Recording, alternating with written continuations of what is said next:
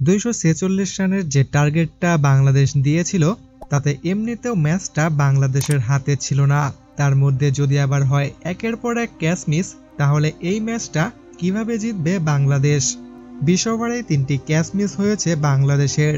Devon Conway out হয়ে যেতে পারতেন মাত্র চার রানে। ইনিংসের শুরুতেই তার ওঠা প্রথম ক্যাচটি মিস করেছিলেন মেহেদি হাসান মিরাজ, যেখানে এই ব্যাটসম্যান শেষ পর্যন্ত করেন পঁয়তাল্লিশ রান। এরপর উনিশতম ওভারের দ্বিতীয় বল।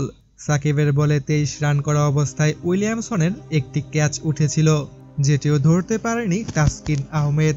এর ঠিক এক ওভার পরেই সাকিব যখন ডেভন কনওয়েকে আউট করে, তখন ড্যারিল মিচেল ব্যাটিংয়ে নেমে প্রথম বলেই ছক্কা মারতে যান, যে ক্যাচটি মিস করেন মাহমুদুল্লাহ রিয়াদ।